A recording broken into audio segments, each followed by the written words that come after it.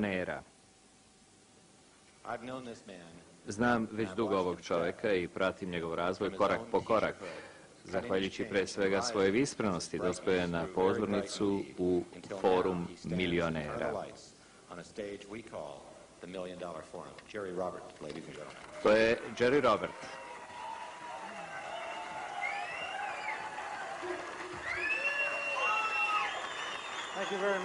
Veliko vam hvala. Hvala, hvala. Došao sam ovamo da vam govorim o MSI i mogu da vam kažem da sam jutro stvorio jedan. Svi ste vi uključeni u ovo. Zato vas molim da mi pomognete. Kada izbrojim do tri, zamolit ću vas da ponovo ustanete i da vičete i vrištite tri do pet sekundi. Hajde da provodimo sve u hotelu. Samo pet sekundi, a onda opet sedite. Hoće li im pomoći? Da? Jedan, dva, tri. Idemo!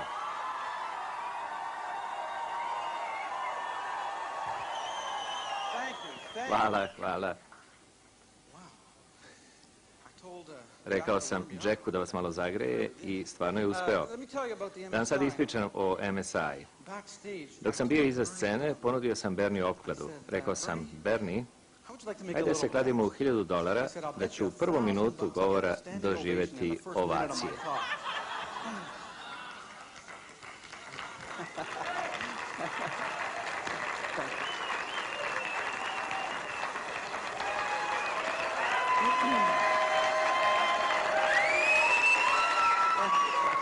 Hvala vam, hvala. Ovo su već 2000, Bernie. Sjajni ste. Znate, uvijek sam volio da dolazim ovamo i da vam pričam o sebi, jer se ovdje, u ovom prostoru, uvijek osjeća neka fantastična energija. Nedavno sam držao govor većoj grupi bolesnika u jednoj psihijatrijskoj bolnici. Baš sam počeo da govorim kada je ustao jedan od pacijenata i viknuo iz sve snage. Ovo je grozan govor. Samo što nisam umro. Samo što nisam umro. Nisam znao šta da radim. Ali pošto je on seo i niko se nije uzbudio zbog toga, osim mene, Nekako sam se sabrao i nastavio da govorim jer su me za to platili. Nastavio sam sa svojom temom. Ali desetak minuta kasnije čovjek je opet ustao i još jače i uzbuđenije počeo da viče. ovo je džubre, ovo je džubre, to što govoriš nema nikakvog smisla. Ti si najgori govornik na svetu. Krenuo je ka meni. Ja nisam neki hiperintelekt, ali znam po nešto o pacijentima sa psihijatrije. I kako je nastavio da ide prema meni, okrenuo sam se prema psihijatriju i pitao ga šta da radim. Psihijatar mi je rekao, samo nastavi.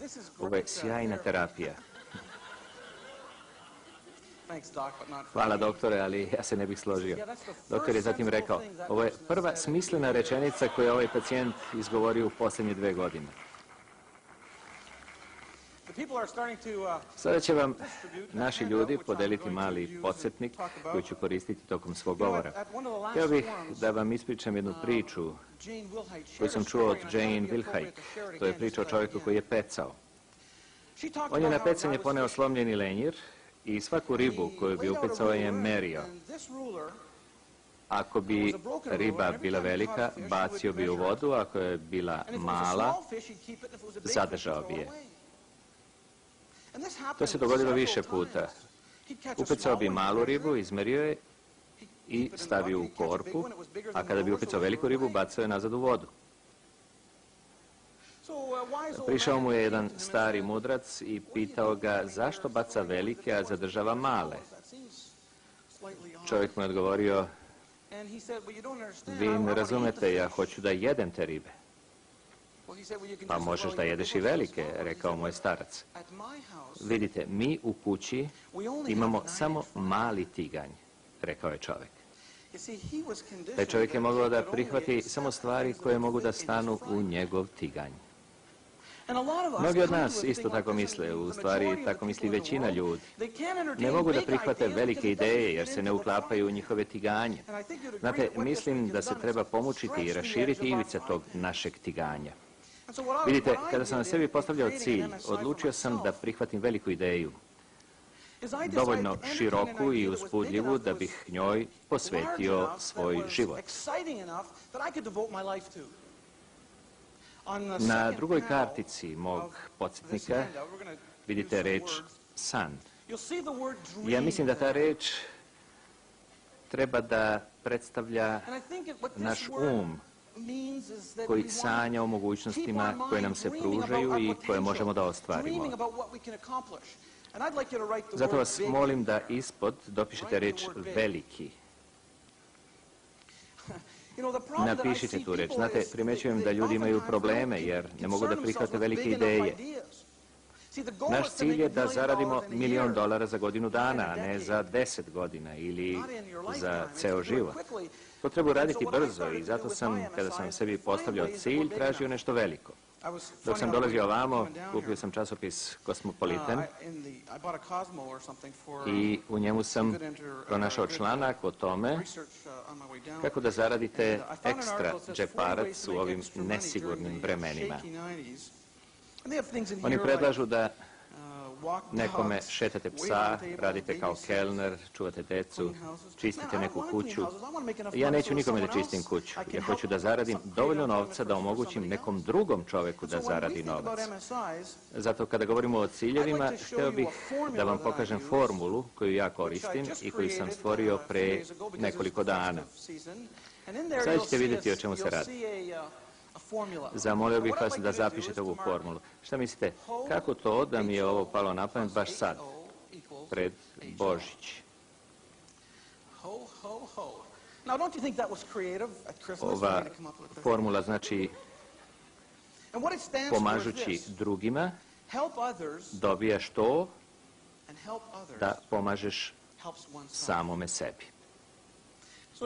Ja sam 1989. objavio knjigu i kada sam to uradio, shvatio sam šta se dešava sa mojim poslom. Bilo je fantastično.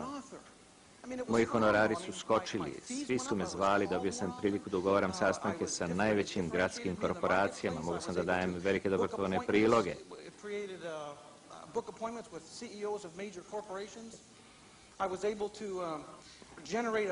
Ja sam se osjećao jako dobro to je dovoljno do toga da se bolje osjećam, da više cenim samoga sebe. Osjećao sam se moćnim, dobio sam samopouzdanje jer sam uspio da postignem nešto. Mnogi ljudi imaju u glavi, ali poenta je izbaciti to iz sebe, napisati.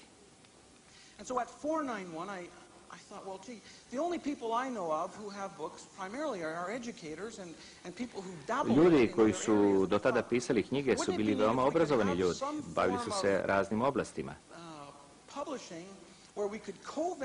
Zapitao sam se, zar ne bi bilo bolje kada bi se stvorila neka vrsta korporacije u kojoj bi autori knjiga dobijali veći deo profita, a ne izdavačke kuće? Kao što je bilo do tada, koji su autoru plaćali oko 7% od ukupne zarade. Za ne bi bilo sjajno kada bi knjige pisali stručnjaci za koje nije uobičajeno da svoje iskustva pismeno izražavaju. Naprimer, e, ja sam prodavac nekretnina i hteo bih o tome da napišem knjigu. Zato nije nešto potpuno novo. Tako smo došli na ideju da se bavimo time. Našli smo ljude iz foruma koji su želeli u to da se uključe i stvorili smo ovu kompaniju koja danas beleži fantastičan uspeh. Zaista, ako bih danas htio da se penzioniše, mogao bih da prodam našu izdavačku kuću i da živimo od toga lepo do kraja života. A počeli smo ovaj posao u aprilu. Ljudi misle da je to tako jer sam ja poznat i da to običan čovjek ne bi mogao. Jedan sam se pojadao svom prijatelju Bobu. Ljudi kao da nisu najsrećniji zato što sam ja uspeo. Zašto je to tako? Bob mi je na to rekao da je to zato što su ljudi zavidljivi. ili zato što misle da su bolji od mene, a ništa im ne polazi za rukom. Takve stvari mogu čovjeka da stave u negativnu energiju i ne mogu nikome da učine dobro. Najčešće se dešava da čovjek vidi čemu drugi teže i da pomisli da i on to može da uradi.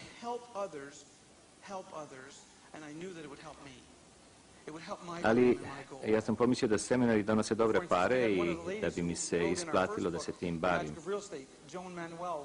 Razvili smo ovu prilično veliku ideju koja može da pomogne drugima i za koju sam znao da može da pomogne meni, da će pomoći da ostavim svoj san i svoj cilj. Sa nama je jedna dama koja je napisala našu prvu knjigu Čudesne nekretnine.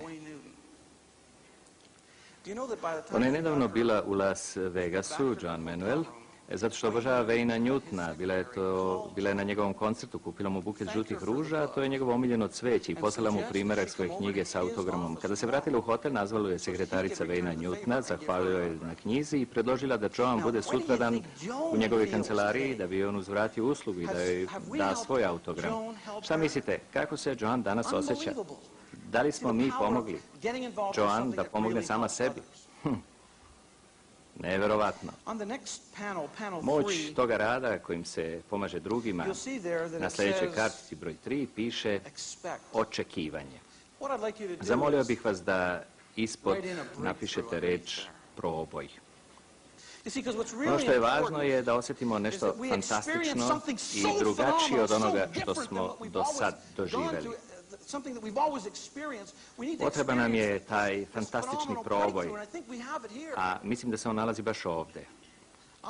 Ja sam osjetio šta znači proboj. Vidite ovu ciglu. Ja sam prošao kroz nešto ovako. Dešava se da ljudi posmatraju kako drugi žive i da pomisle ja to ne mogu. Treba da znate nešto o meni. E, Bernie nam je pričao o svom ocu i o tome kako se osjećao kada se nalazio pored oca dok je umirao. A ja sam bio pored svog oca kada je umirao. Bilo je badnje veče, ali je razlika u tome što sam ja samo u mislima bio kraj oca, jer sam tada bio u zatvoru. Do svoje 18. godine sam počinio sva krivična dela od pljačke do otmice. 6. septembra 1977. kada je policija provalila u moj stan, statrala me uza zid i kada su mi uprili pištolj u glavu, htio sam da kažem, treba mi neki proboj. Da vam kažem, kada sedite u svojoj kući i kada se vrata sruši i uleti gomilo policajaca sa isukanim pištoljima, to stvarno može da vam pokvari dan. Ovo iskustvo, ova istinita priča je uzrokovala da prekinem sa dotadašnjim životom.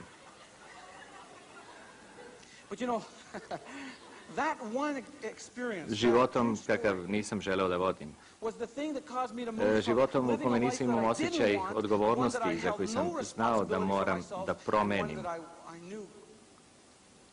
Znao sam da moram drugačije da živim i da se ponosim time kako živim. Sada idem okolo i nosim sa sobom ove cigle. Ovu ciglu ću danas slomiti. Kada se budete vratili kući, složit ćete se, naletećete na ove stvari, na cigle. Zamolit ću vas da učinite nešto. Stavite svoje palčeve ovako i pokušajte da gledate u mene kroz svoje palčeve. U redu? Usredsredite se na mene na trenutak. Sada se usredsredite na nokat svog palca. Onda opet na mene. Šta se dešava? Možda vidite dva ili tri palca i sećate se koliko ste popili noćas. Nemoguće je usredsrediti se na dve stvari istovremeno. Vidite, ne možete misliti negativno o nekoj stvari i istovremeno misliti o njoj pozitivno. Ne možete misliti ja to mogu, ja ću to učiniti i istovremeno misliti šta je radim ovdje. Njemu je to pomoglo, ali meni neće. Usredsredite se. Ako svoju pažnju usmerite na prepreku koja se nalazi na vašem putu, uspećete da je slomite. Video sam jutros neke majstore borilačkih veština na treningu. Razgovarao sam čak i sa učiteljima borilačkih veština. Želim sve da vas naučim jednom novom triku. Vidjet ćete šta je moć usred sređivanja. Molio bih potpunu tišinu. Ovo će biti bolno za mene i ne bih voleo da izgubim ruku. Dok se budem koncentrisao, voleo bih kada biste mogli da mi pošaljete svu energiju koju imate i tako mi pomognete da pobedim svoju prepreku. Dok budete gledali ono što ja radim, želeo bih da razjasnite šta je prepreka u vašem životu. Stavite je ovdje. Vratit ćete se svojim supružnicima i oni će misliti da ste poludeli. Otići ćete na posao i vaše kolege će se pitati na kojoj ste planeti umeđu vremenu bili. Morate da budete koncentrisani i da na ovo gledate kao na svoju prepreku.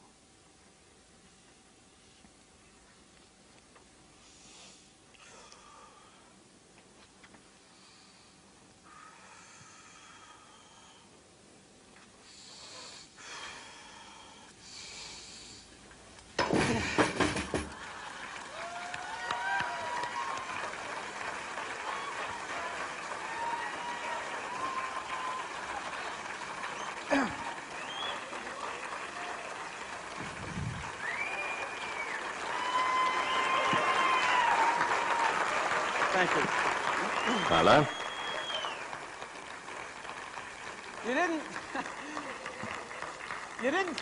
Niste valjda mislili da ću da upotrebim ruku? Bože.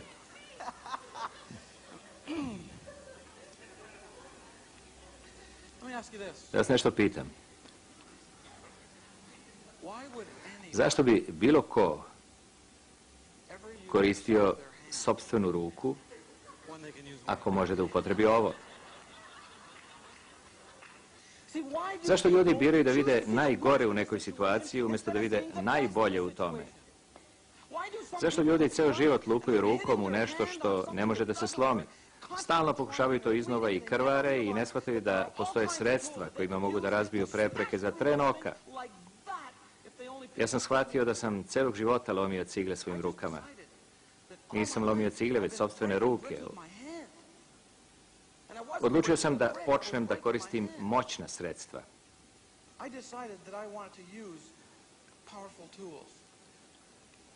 Hteo bih da vam predstavim neka od tih sredstava koje ja koristim. Sljedeća kartica je pobediti. To je jedno od najboljih sredstava uz pomoć kojih idem ka ostvarenju svog cilja. Pobediti pasivnost. Bob je jednog dana došao u moju kancelariju i napisao na tabli.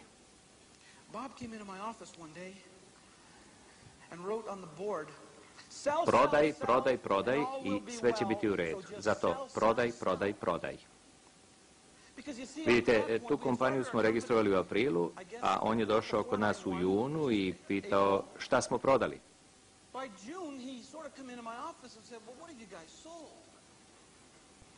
Ja sam rekao, pravimo planove, Bobe. Njegov i moj savjet vama je da prestanete da planirate i da počnete da radite. Morate da pobedite pasivnost aktivnošću. Ja sam uspio za tako kratko vreme jer sam radio mnogo stvari, razgovarao sa mnogim ljudima.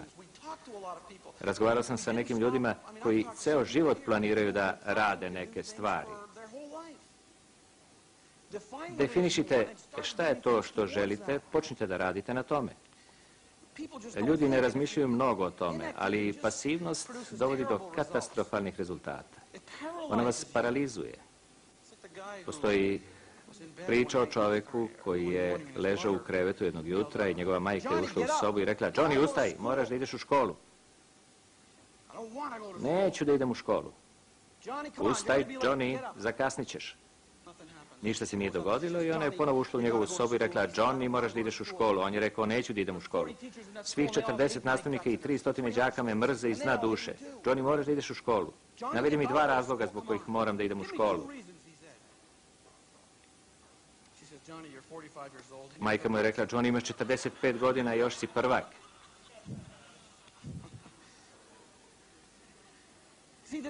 Vidite, većina ljudi teži tome da svi uslovi postanu idealni da bi oni počeli da rade.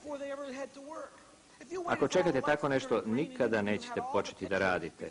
Morate da se trudite, da idete što dalje sa svojim sadašnjim znanjem, a kada stignete tamo možete da razmišljate kako da idete još dalje. Ja sam znao da moram da osnovim svoju kompaniju i da mi je potreban početni kapital. Našli su mi investitora koji je danas moj partner. To je Lois. Gde je ona? Hajde da je pozdravimo.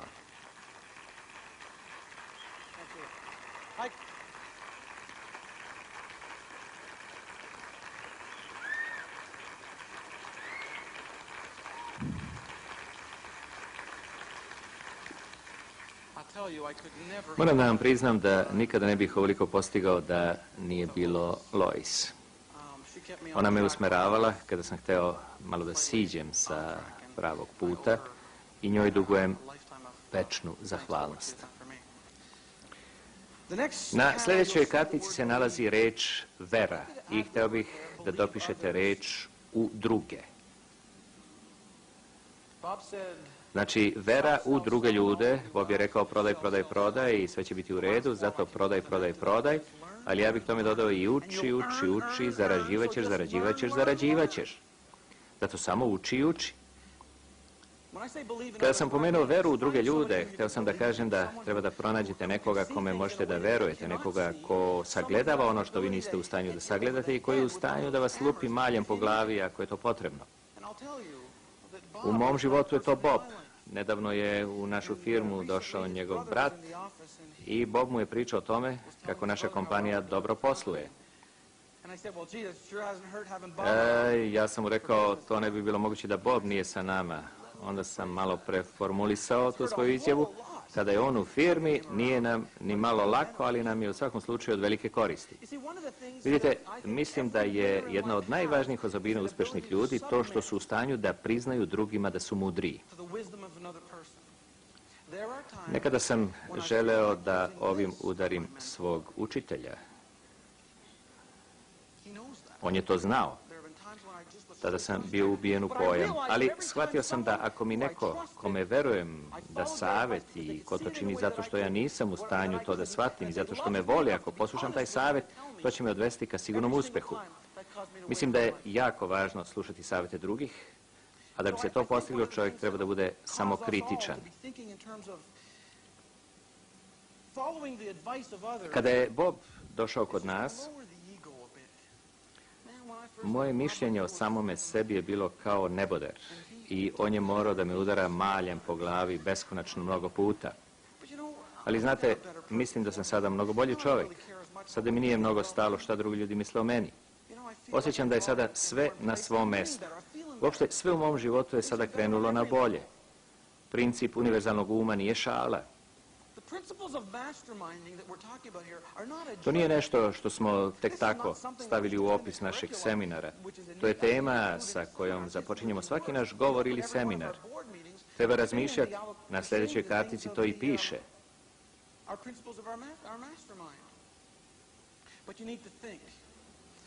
Misli. Danny Cox moj prijatelj je radio kao probni pilot.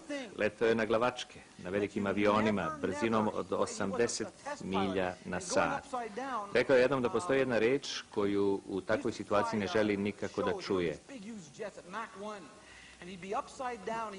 To je ups. Vidite, ljudi u biznisu ne razmišljaju mnogo. Unapred ne računaju na greške, a one se događaju. Svi smo mi napravili mnogo grešaka. Ups.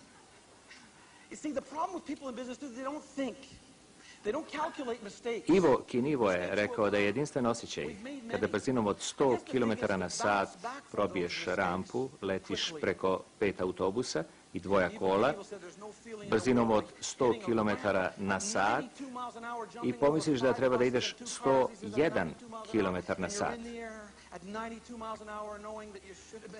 Stvari treba da se proračunaju, da se zapišu na papir. Treba ih formulisati. Sve što mogu da vam kažem je da od kada sam došao u forum, počeo sam drugačije da postupam. I Odlučio sam da zaradim milion dolara, jer ja to mogu da uradim. is possible to earn in a year, I am going to earn it. There are many of you who Mnogi od vas misle da to nije moguće.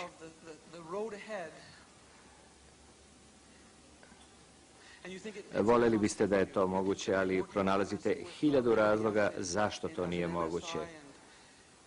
Sve je moguće ako pobedite pasivnost i iskoristite sredstva koje za to postoje.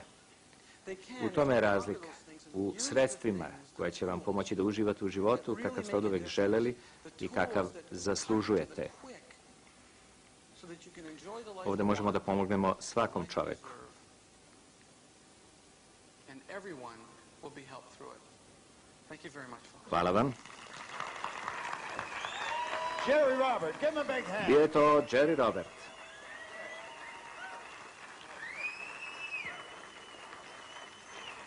Let's get Lois up. Ajde da ga još jednom pozdravimo. Ajde da vidimo i Lois. Lois izađi i ti. Pozdravite Lois. Neka stane u sredinu.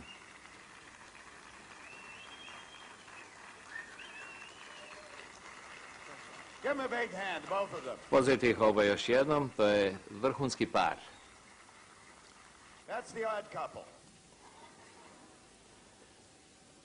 Oni su napravili sjajan posao. Drago mi je što ste ih videli zajedno jer su oni sjajan tim. Oni sjajno rade svoj posao. Želeo bih da zapamtite da su se njih dvoje upoznali na ovom forumu.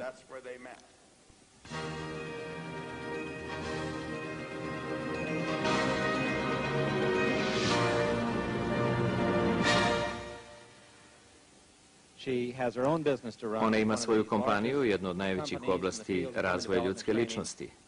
Ona drži kurseve za žene, hiljade takvih 100 kurseva koji se smatraju za najbolje na teaches Mnogo putuje i večeras je specijalno doputovala ovamo, letela je cijelu noć da bi bila sa nama i da bi nam prenela svoje znanje. Želim da pozdravite mog velikog učitelja Jane Wilhite. Ladies and gentlemen, you'll be welcoming my personal teacher, my teacher, Jane Wilhite.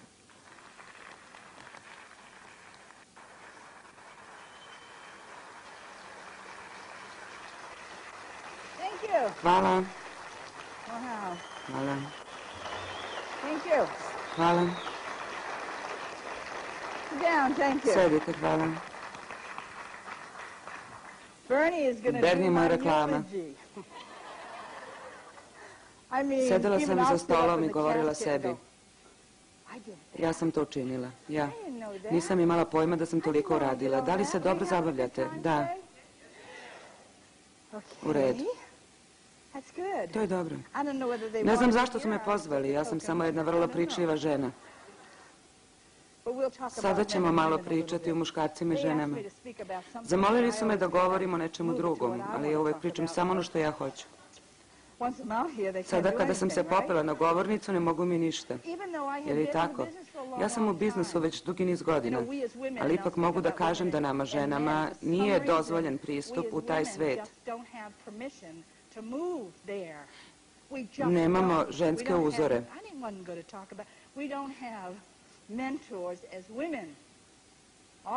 Svi ženski uzori su umrli na kolenima, kao na primjer Jovanka Orleanka, sve te divne žene. Znači ne možemo čak ni uzor da imamo. Ellen Roosevelt i slične žene nisu baš ono pravo, iako su bile velike. Da li mogu sada da se obratim samo ženama? Je li to u redu? Žene moraju naporno da rade, samo zato što su žene. A žene nemaju pravo da budu moćne i nemaju pravo da idu napred. Mi moramo sve da radimo. Da se borimo istovremeno da it kuću.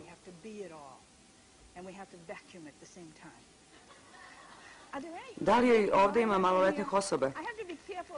Moram da budem oprezna kada govorim takve stvari, ako ih ima. Nema dece, dobro, u redu. I used to do a speech with Ranije sam posle časova imala običaj da razgovaram sa učenicima. Sada više nemam vremena za tako nešto. Razgovarala sam sa muškarcima i imala sam običaj da im kažem Momci, neće vam pasti kruna sa glave ako budete uzeli usisivač u ruke. I bilo je. I bilo je, da znate. Um, Neće. Nedavno su vršili istraživanja u dva- in a two- You'll get a lot of love in Šta će se desiti ako uzmem usisivač? Za uzvrat ćeš dobiti mnogo ljubavi duša. Garantujem ti ladies? Dame, Uh-huh, da li sam u pravu? um,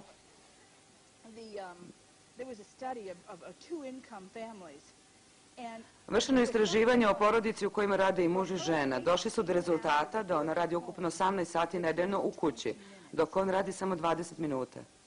she had 18 Ona samo kod kuće radi 18 sati, to do. He had 20 a on ukupno kod kuće za nedelju dana radi 20 minuta. To je prosek za porodice u kojima rade i muž i žena. To je nekada bilo u redu.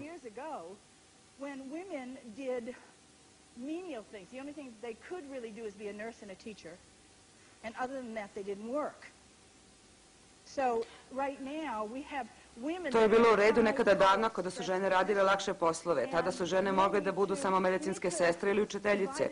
Ili su bile domaćice, znači danas imamo žene koje rade na veoma odgovornim poslovima. I kućne poslove treba podeliti. Ovo sam poručila nekome ko sedi ovde, ali ne znam kome. Ovo bi trebalo da bude tema za moj govor. Nekada davno, um, u zemlji, dajte mi ime neke zemlje kao što je zemlja Robina Hooda. Oz, Ne, zemlja Robina Robin Hood. Hooda. Shannon Forest, thanks. I like Shannon Forest. U redu. U toj zemlji živeo kralj i bio je jako dobar kralj. I mean, he was On je bio najmudriji kralj koga su ikada imali u toj zemlji. was one of the wisest kings they had ever had in this country. And he had Imao je tri divna, savršena sina. Počeo je da poboljeva. sons. They were all terrific sons. And he was getting sick. Now he knew it. The sons didn't know, but he was getting Ali sick. sinovi to nisu znali, samo je on to znao i znao je da će uskoro umreti. Morao je da izabere jednog od sinova da ga nasledi. One of his sons to take over. And he thought and he prayed Mislio je, and he mislio o tome ko bi od njih trojice bio najbolji vladar. Which one? Razmišljao je o tome dugo. And he prayed on it for a long time. And he decided, he says, Dugo "I setio this." se kakvu probu da ih stavi. Sljedećeg jutra je probudio svoje sinove i rekao im da idu zajedno u lov said, "We are going i da ponesu svoje lukove i strele, da upregnu konje. Oni su sve to uradili. In the- what? By the moat. Yeah, okay, I like that. By the moat. So they did. Dakle, oni su sve to uradili i kada su izašli, odjahali su do jednog brda i počeli da razapinju šatore. Bows and arrows. That's beautiful. Bilo je kasno. And they went out. And um, they stopped on a hill. And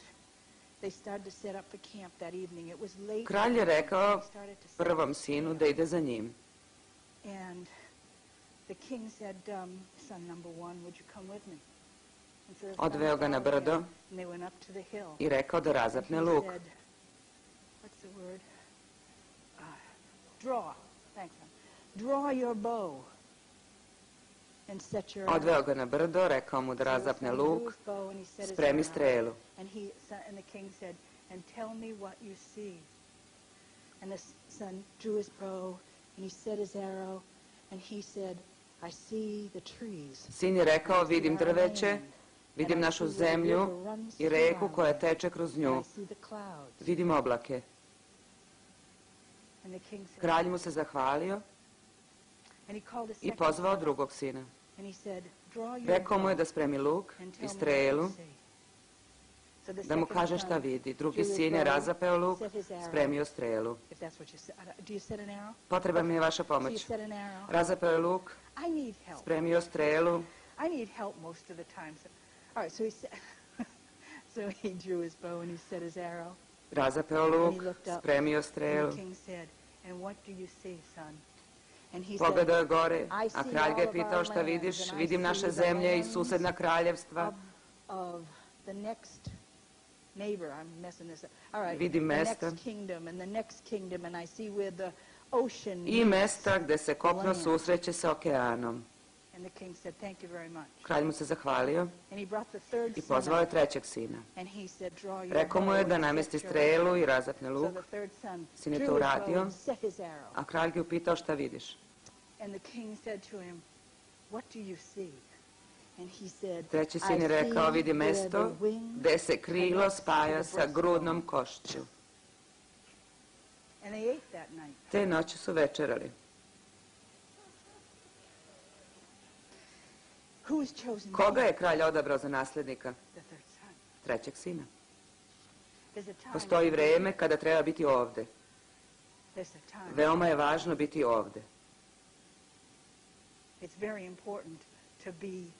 Važno je biti ovde, sada. Znate, mi smo čudna bića. Kada smo kod kuće, mislimo kako treba da idemo na posao. Na poslu mislimo kako treba da idemo kući. Sada, kada ste ovde, vi mislite, bolje bi bilo da sam tamo ili tamo i da radimo ovo ili ono. Nikada nismo ovde. Nikada. Nikada ovde. Svi vi mislite, mogao bi da "Well, I could be doing telefoniram, Mogao this." bi da radim ovo i polovina vas ne piše ono što treba da piše, već listu stvari koje ste zaboravili da napišete. Da, znam to jako dobro, jer sam i ja to nekada radila. Biti ovde sada znači upravo kontrolisati svest o tome da ste sada ovde. Benjamin Dizreali je jednom rekao, mi smo razapeti između dva straha, straha od sutrašnjice i žala za onim što je bilo juče. Šta bi bilo sa vama kada juče ne bi postojalo? Ko biste bili vi kad ne bi bilo juče? Jer kada razmišljam o sebi i o tome šta bih ja danas bila, da nije bilo onoga juče, ja ne uzimam u obzir teškoće koje su me pratile, neuspehe i ostalo đubre. Da li vi mene pratite? Da, ja to ne uzimam u obzir. Jer kad pogledam šta se moram da uradim sutra ili idućeg meseca, uvek se vraćam na ono što nisam uradila juče, prošlog meseca ili prošle godine. I kako onda mogu bilo šta da uradim sutra, idućeg meseca ili iduće godine? Ona rečenica je zaista sjajna. Razapeti smo između dva straha, straha od sustrašnice i žala za onim što je bilo juče. Ako bi vam neko garantovao uspeh, šta biste radili? Ako vam neko garantuje da će vam ova godina biti uspešna, šta biste uradili? Mi neprestano vodimo razgovor sa samim sobom, to činimo gotovo stalno. I taj razgovor je uglavnom iracionalan. Možemo ga još nazvati iracionalnim verovanjem.